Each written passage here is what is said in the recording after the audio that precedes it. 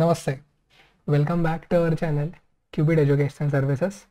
We are solving the physics MCQs from the IISER Aptitude Test 2022 paper which is available on the official website of the IISERs.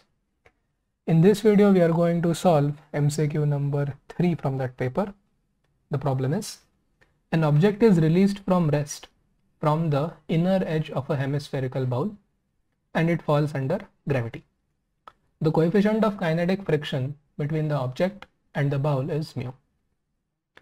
If the object covers an angular displacement theta with respect to the center of the hemisphere when it stops for the first time, uh, which of the following expressions is correct? Mu equals cot of theta by 2, cot of theta, tan of theta or tan of theta by 2. To solve this problem, we will need an appropriate figure representing the situation and here is it. In this figure, the red semicircular arc is our bowl. Okay, well it is actually a hemispherical bowl, but we can actually take uh, the section of the plane, a section of the bowl, planar section in which the, the object slides. The black dot here is the initial position of the object okay this is the initial position.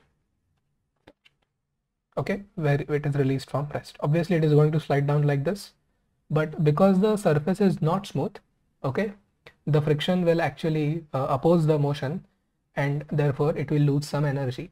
And as a result of that when it goes to the other side it will not rise to the same height uh, from which it was released. Okay so uh, the height is they have given the angular height we can say and that displacement is theta. So let this be the, uh, the position where the object comes to stop for the first time. Okay, so here where this is the position where it stops for the first time. Okay, let, let, let's say final position because we are no longer interested in its further journey. Okay, so this is fine. Although we know that we know that the object is not going to stop there. It is again going to slide down to the other one, other side this time with a smaller uh, linear displacement. Okay, uh, so these are the initial and final positions for us for the analysis of the problem. Now to solve this problem, uh, let us introduce the radius of the hemisphere as r. Okay, radius of the hemisphere as r. And uh, I have also shown an instant, okay, somewhere in between its uh, journey from its ini initial position to its first stop and I've called that angular displacement as phi. Okay, so this is the free body diagram. The object is moving in this way. The weight is forever going to act downwards, W equal to m into g. Let us assume that the mass is m. The normal reaction will be directed towards the center and because the motion is from left to right, the frictional forces direction will be from uh, right to left. Okay, so this mu times n is the frictional force okay mu times n is our frictional force. Okay we know that. Uh, this is how we find the, uh, the force of friction. Okay so n is the normal reaction. Now uh, how can we actually determine the relationship between the angle theta and the coefficient of friction mu? We can do that by energy conservation. Well not really energy conservation but we can say that the energy that this uh, object loses is basically converted into heat and that is basically the work done by the frictional force. So we are going to start with that equation. The equation is energy lost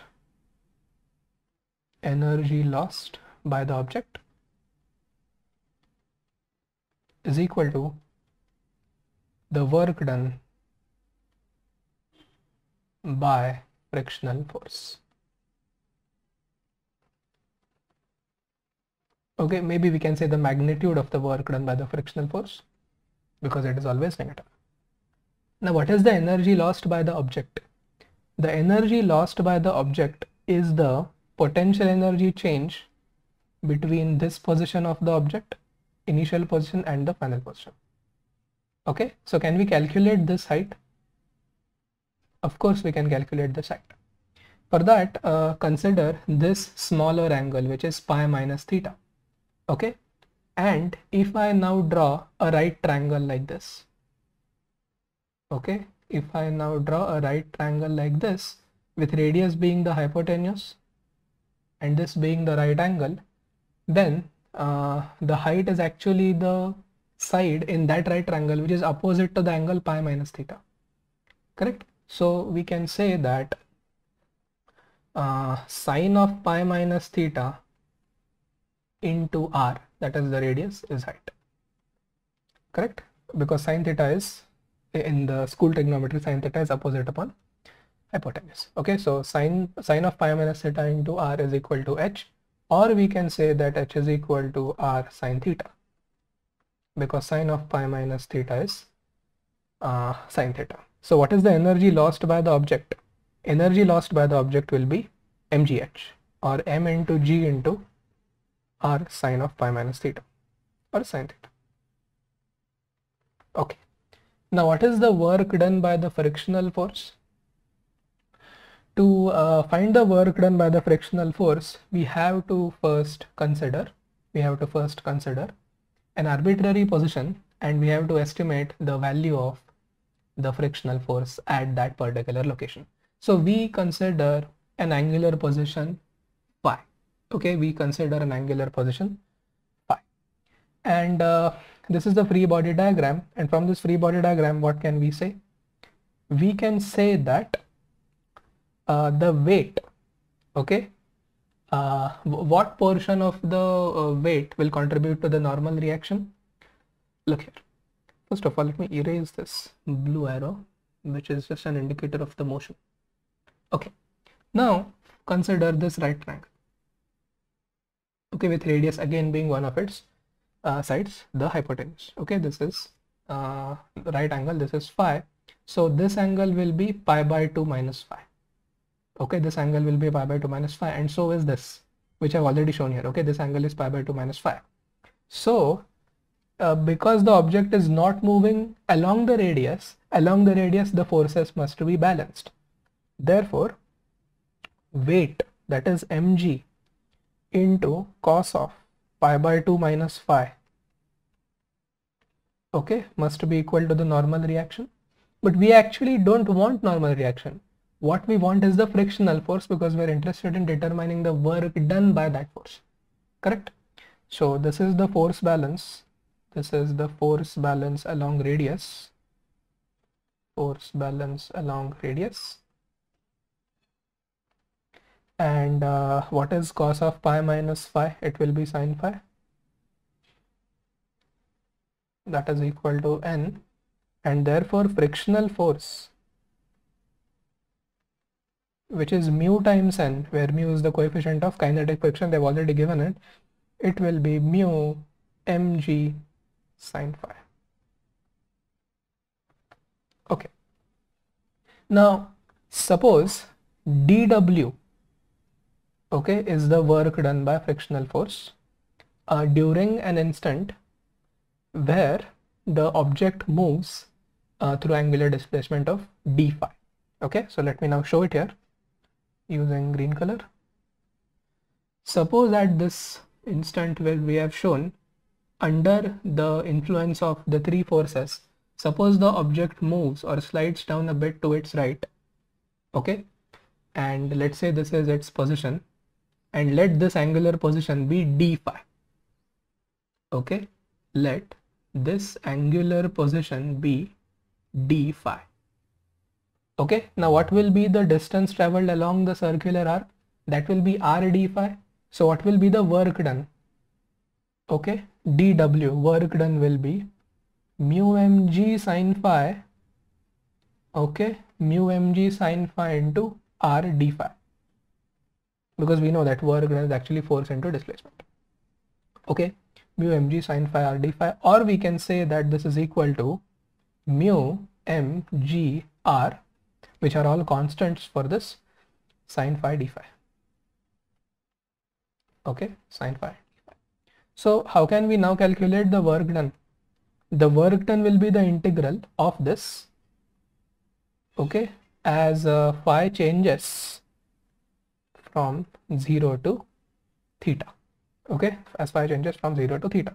And we will we can now very easily integrate this because mu is a constant g is a constant m is a constant r is also a constant. And what is the integral of uh, sine of x let us say okay with respect to x? It is negative cos x. So it will be negative of cos of phi from uh, 0 to theta okay. Uh, that negative sign if we absorb it uh, here outside negative mu mgr it will be cos of theta minus cos 0 that is 1 or we can say it is mgr into mu into bracket 1 minus cos theta. Okay? And this work done that is w this can now be equated with mgr sine theta.